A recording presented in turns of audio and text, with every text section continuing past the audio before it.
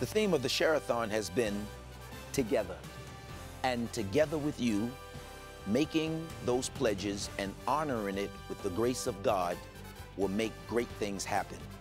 I want you to understand that the soil is calling your seed. And as you place the seed in the soil, is going to push up something great. So honor the pledge and help us together win the world for Jesus Christ.